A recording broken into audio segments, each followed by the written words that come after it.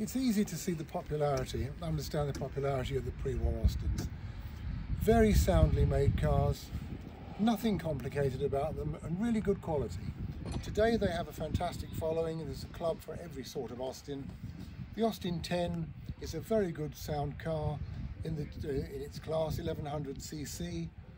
This particular car was supplied in uh, Chirk in Wales. It has the uh, plaque on the dashboard. Everything works, she's been in good hands.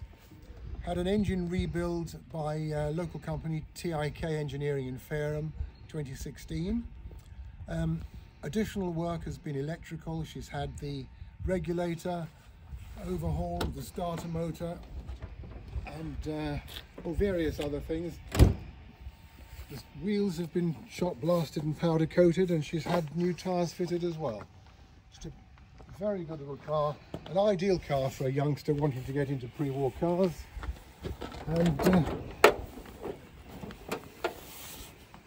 a very original and correct example, really.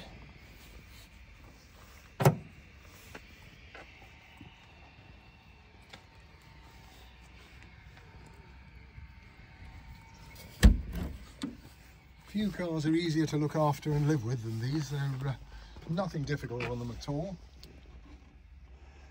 The interior for a 90 year, well, was it 87 years old interior, survived very well. It's nice to see that original leather. Also the door cards. I don't think it's had a hell of a life, this car, actually, because that's the original type carpeting.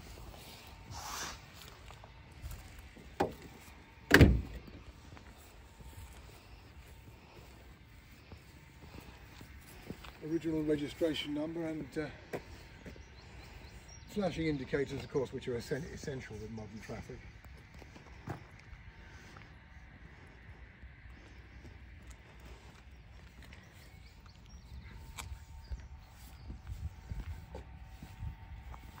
It's 1936 so the, the last of this model really before they came in uh, August 1936 with the sort of Cambridge, the modernised models.